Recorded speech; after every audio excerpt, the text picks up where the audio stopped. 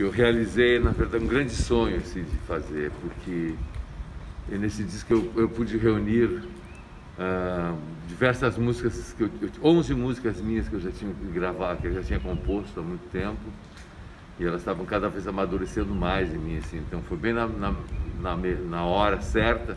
Esse disco é um disco que tem, ele é todo correto, melodia com harmonia, que tem muito disco que vê de MPB, de, até de grandes artistas, que às vezes pecam em, em alguns meio tons, assim, tu faz um acorde de sétima menor e, o, e a voz está na sétima maior. Uhum. Então nós tivemos todo um, um, um grande um grande, um, um grande trabalho para que isso não acontecesse. Então o disco está perfeitamente, harmonicamente, melodicamente perfeito, assim, encaixado, né? São 11 canções 11 minhas e são três vinhetas.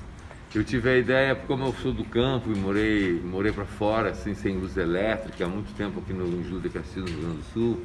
O meu pai comprou um rádio e esse rádio me dava uma sonorização do rádio a válvula no campo.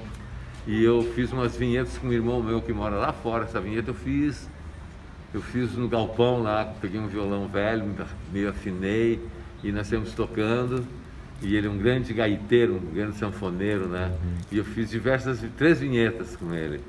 E essas vinhetas depois eu apurei esse som dentro dos estúdios para deixar ele realmente tipo um som de rádio, a bateria. Eu sou um cara que, que tem raízes muito fortes no Rio Grande do Sul, né? E, e também tive, tive uma grande influência de músicos do Brasil, brasileiros como a Bossa Nova e, e a Tropicália foram, foram meus grandes influentes. Então ele tem um sabor que eu jamais abandonar, abandonaria as minhas raízes.